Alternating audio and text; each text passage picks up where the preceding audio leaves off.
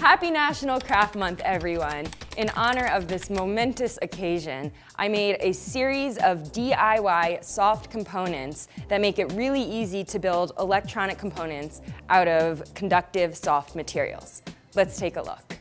First up, we have two momentary push buttons done in two separate ways, both which are really great. The first one features two patches of conductive fabric that break the circuit. So when we close them, they close the circuit, lighting up the LED. The second option is pretty similar, but instead of having to fold over the bottom, you have two patches of conductive fabric separated by a piece of interfacing.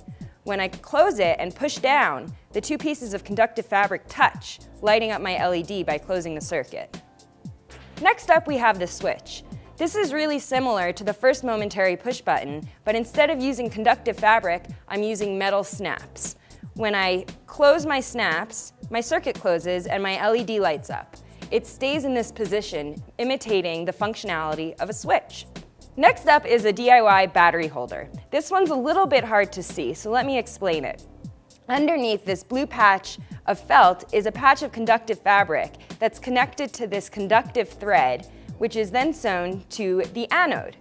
Underneath the patch of conductive fabric is a knot of conductive thread that is then attached to this path going to the cathode.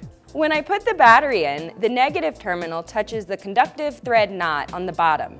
The positive terminal of the battery, or the top, touches the conductive fabric patch. When I slide it in, it completes my circuit and turns on my LED. Next up is a pressure and flex sensor. This one uses a really interesting material called EeonTex pressure sensor. And when I put pressure down, the resistance is lowered, making my LED brighter.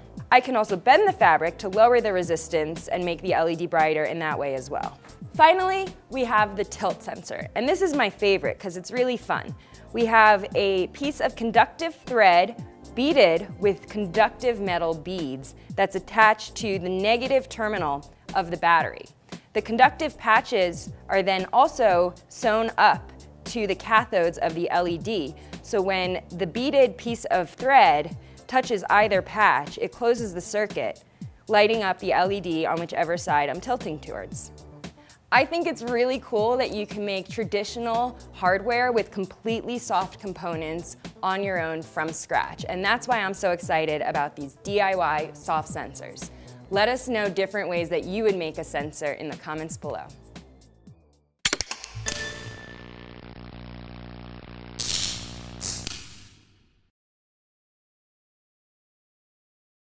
Next up, next up, going to the, uh, so close. Happy Craft Month, everyone. Mm. Just conductive, stop.